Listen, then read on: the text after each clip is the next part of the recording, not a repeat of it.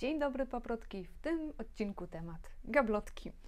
Przeszukałam internet wzdłuż i wszerz, polski zagraniczny w celu znalezienia jakichś wytycznych, które pozwoliłyby mi jakoś ją zagospodarować i dopasować pod moje rośliny, ale mi głowa spuchła od tych wszystkich informacji, bo co osoba to opinia. Często zdarzały się takie historie, że u kogoś zestaw lamp i całej reszty pięknie działała, funkcjonowała, pomagała roślinom, a u kogoś zupełnie się to nie sprawdzało.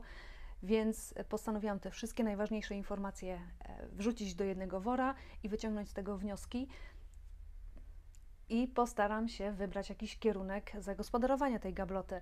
Co tutaj będę robiła, jak planuję to wyposażyć, na co zwrócić uwagę, takie podstawowe rzeczy, a reszta to tak naprawdę będzie zależała od tego, jakie rośliny tutaj umieszczę. I jestem ciekawa, czy masz gablotkę u siebie w domu, w mieszkaniu i czy masz może jakieś wskazówki do takich mniejszych, tego typu i większych.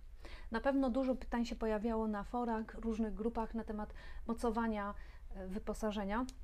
Rozwiązań jest tak naprawdę bardzo dużo, można zrobić to budżetowo, można trochę w to zainwestować. Ja to jestem z tych budżetowych e, i lubię sama coś wykombinować, tak żeby to jakoś funkcjonowało, jakoś, no, żeby dobrze funkcjonowało.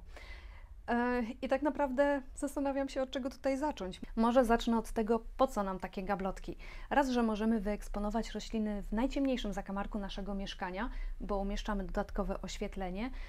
A to, co najważniejsze, to w takim szklanym zamknięciu tworzymy warunki kontrolowane. Odpowiednią temperaturę powietrza, wilgotność, cyrkulację powietrza. Stwarzamy po prostu warunki pod dane gatunki, e, też i odmiany, Możemy trzymać tutaj rośliny dojrzałe, stworzyć jakąś ciekawą roślinną kompozycję, albo na przykład przyspieszać ukorzenianie niektórych roślin, po prostu stworzyć im ide idealne warunki do wzrostu.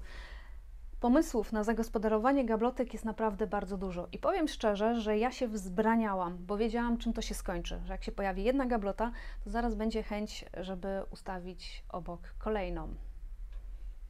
Na przykład. Jakoś tak się dziwnie złożyło, że jest miejsce. Kolejna sprawa to jakoś sobie radziłam, jeżeli chodzi o ukorzenianie roślin w wyższej wilgotności powietrza i ciepłym podłożu. Wykorzystywałam to po prostu, co miałam pod ręką, na przykład szklane naczynia, e, zamykałam je i stawiałam na ciepłych grzejnikach albo na rozgrzanych ładowarkach do komputera. Zdawało to egzamin, pomudzało w jakiś sposób kreatywność. E, I jeżeli chodzi o takie aspekty wizualne, to ja najchętniej gablotkę bym urządziła w taki sposób, że zrobiła ściankę z paprociami, z mchem, jakieś konary, e, spadająca para, jakieś ciekawe rośliny. No ale później przeniesienie takiej gabloty to myślę, że byłby spory problem. I patrząc na takie ogólnie zagospodarowane gablotki różnymi roślinami, to mi się to źle kojarzyło, tak szpitalnie.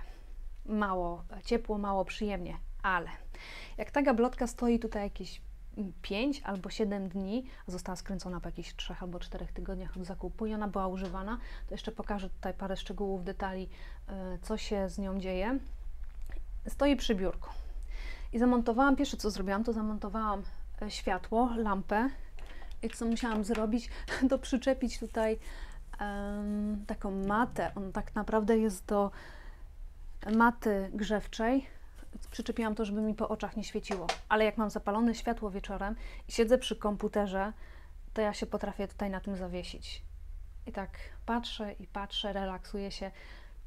Jak się ogląda zdjęcia w internecie czy jakieś filmy, to nie robi takiego wrażenia. A na żywo przed nagraniem gablotę opróżniłam. Zostawiłam tylko takich kilka egzemplarzy i jeden z najważniejszych elementów, które powinniśmy posiadać nawet w najmniejszej gablotce, jest to miernik temperatury i wilgotności powietrza, żebyśmy mogli zareagować w odpowiednim momencie i dostosować warunki do roślin, które będziemy tutaj trzymali. Na ten moment mam 23,5 stopnia i 73% wilgotności. Gdy gablota była zastawiona roślinami, to w ciągu dnia wilgotność wahała się od 85 do 93%, więc całkiem nieźle i gablota nie jest uszczelniona. I może w ogóle zacznę właśnie od takich najważniejszych elementów, które e, powinniśmy uwzględnić w takiej gablotce. To jest właśnie taki miernik, światło. To jakie lampy umieścimy w gablocie, to tak naprawdę zależy od tego, jakie rośliny tutaj będziemy trzymali. E, I to nie chodzi tylko o to, czy wymagają mniej czy więcej światła, tylko w jakiej fazie wzrostu jest dana roślina.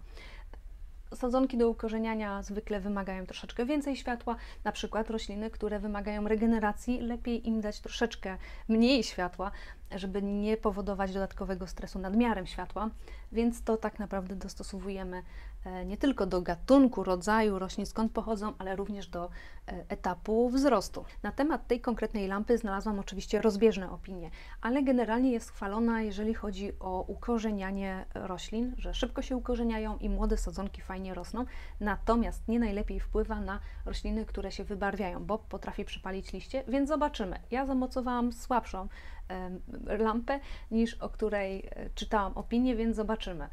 Zobaczymy, jak to będzie e, funkcjonowało. Testuję. Ta e, gablotka ma otwór tutaj wywiercony i zaklejony, więc mogłabym zaczepić żarówkę, puścić tutaj po prostu od góry. Zdecydowałam się na przyklejenie listwy taśmą dwustronną, która ma udźwig do 2,5 kg, chociaż liczę się z tym, że ta lampa może się odkleić po prostu od ciepła, chociaż ona jakoś tak mocno się nie nagrzewa. Um, trzyma się mocno, naprawdę mocno się trzyma. Zobaczymy. Jakoś muszę ją zabezpieczyć, żeby mi nie spadła na rośliny e, i ich nie połamała. Ta lampa w zestawie miała takie pręty, które wtykamy tutaj z boku i mogłabym je przyczepić, powiesić na haczykach wkręconych. I haczyki również bym wykorzystała do tego, żeby coś powiesić na druciku. Akurat zdecydowałam się na taką lampę, e, ponieważ nie mam jakichś mocno wybarwionych roślin. E, jest jedynie tylko eksperymentalnie kupiony Philodendron Pink Princess i zobaczymy, jak to będzie na niego wpływało. Większość, większość roślin u mnie jest zielona, e, więc zobaczymy po prostu, jak to wpłynie na rośliny. Może się okazać, że to światło mi wystarczy, a może będę zmuszona dorzucić jeszcze jakieś e, dodatkowe oświetlenie. Dobrze, że tutaj ściana jest biała, więc troszeczkę światła odbija, wraca do gablotki. Jeżeli będzie taka potrzeba, to myślę o tym, żeby zaczepić, przykleić taką mm, taśmę, która odbija światło, coś na takiej zasadzie jak, jak to, żeby więcej światła było jednak tutaj. Ale to zobaczymy. To jest kwestia po prostu obserwacji tego, co tutaj umieszczę.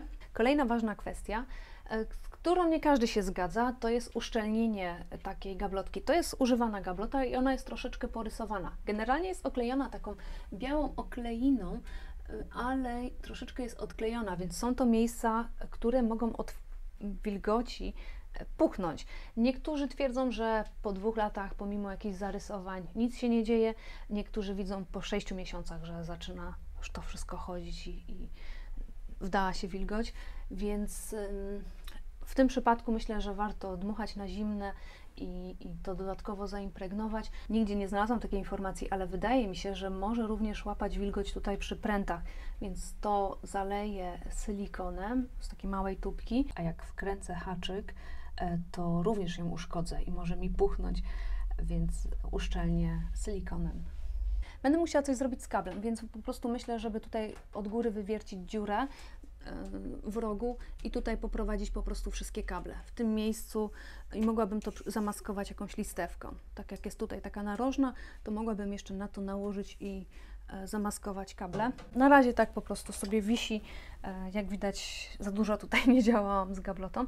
Na górze, na dole, po bokach są szpary i niektórzy to pozostawiają tak jak jest, żeby była jakaś tam mikrocyrkulacja, a niektórzy to zaklejają, robią szczelną gablotę. I znalazłam kilka na to sposobów. Po prostu zastosowanie uszczelek do uszczelniania okien, przyklejane w gablocie na górze, po bokach, a drzwi, drzwiczki zaklejane są po prostu po tej ruchomej części. Niektórzy też stosują jakieś pianki do uszczelniania. Hmm, czy ja będę uszczelniała? Chyba tak, po prostu po bokach, a na górze zostawię taki mikro przewiew, bo myślę, że na razie ten kabel tutaj będzie wisiał. Gdzieś miałam uszczelki.